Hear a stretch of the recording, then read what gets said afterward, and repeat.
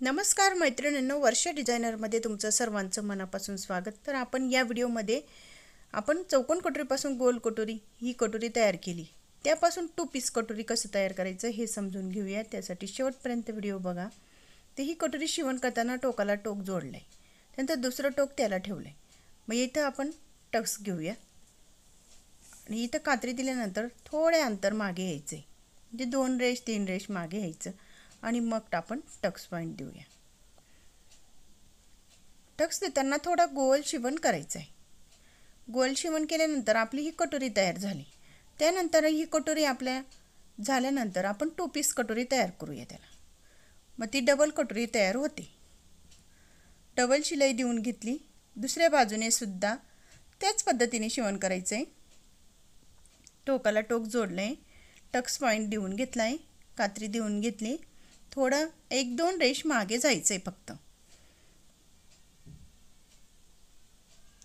आणि टक्स देताना सरळ न देता थोडा गोलमध्ये दिला आहे आपली दुसऱ्या बाजूची सुद्धा कटोरी शिवण तयार झाली. कटोरीचा उभार किती छान आलेला आहे. आपण हे दोघे कटोरी शिवण तयार झालेलं आहे. त्यानंतर तिला टू पीस कटोरी तयार करण्याची पद्धत. न कापता न काही करता शिवण करता येते. अगदी सुंदर ही टू पीस कटोरी छान बसते. ज्या महिलांना डबल कटोरीचं कटिंग नाही करता येत पण कटोरी शिवण करायची तर या पद्धतीने शिवण करा. अगदी सुंदर ही कटोरी येते. डबल टीप घालून घ्यायची आहे. तर बघू शकता. आपण चेक करायचं आहे आपली कटोरी व्यवस्थित आली की नाही. हे चेक करायचं आहे प्रत्येक वेळा. जर आपला हा कपडा थोडा ओढल्यासारखा होतो आहे थोडा प्रेस करून घ्यायचा किंवा नखाने प्रेस करायचा आहे तो. म्हणजे आपली फिनिशिंग छान येते.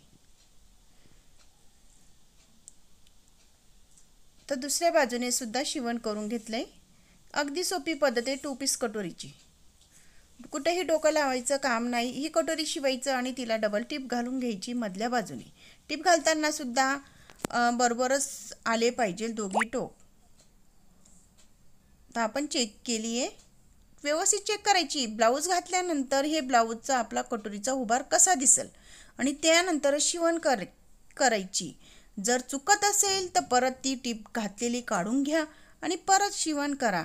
जेणेकरून शिवण करताना आपल्या चुका दुरुस्त करता येतात पण ब्लाऊज शिवण केल्यानंतर चुका दुरुस्त करायला फार अवघड होतं.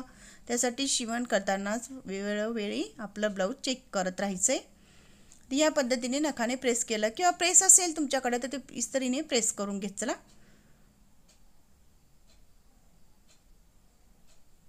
तर या दोघी कटोऱ्या आपल्या शिवून तयार झालेल्या आहे तिचा उभार बघू शकता आपल्या कटोरी किती छान आलेला आहे. टू पीस कटोरी हिला म्हणता. तर ती शिवण करण्याची पद्धतसुद्धा बघूया. आपण जी कटोरी शिवण करत असतो त्याच पद्धतीने. तर आपण इथं शिवण्यात थोडा कपडा दाबला आहे त्यासाठी थोडा पुढे कमी पडेल. तर शिवण करताना थोडा कमी पडला तर त्याच्यात घाबरण्यासारखं काही नाही. थोडं कापून घ्यायचं आहे पुढच्या बाजूने. आपण गळा गोल करतो.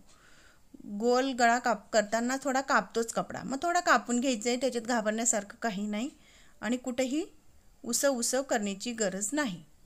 दापटीप घालून घ्यायची. आहे डबल घालायची तर डबल घाला. सिंगल घालायची तर सिंगल घाला.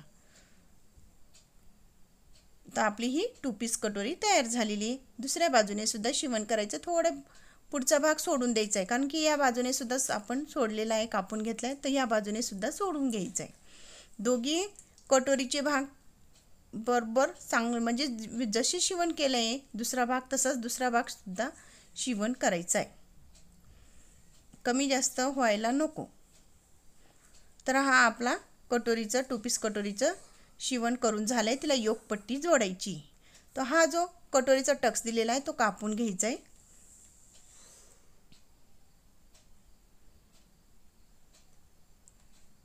योगपट्टी शिवण करून घेऊया.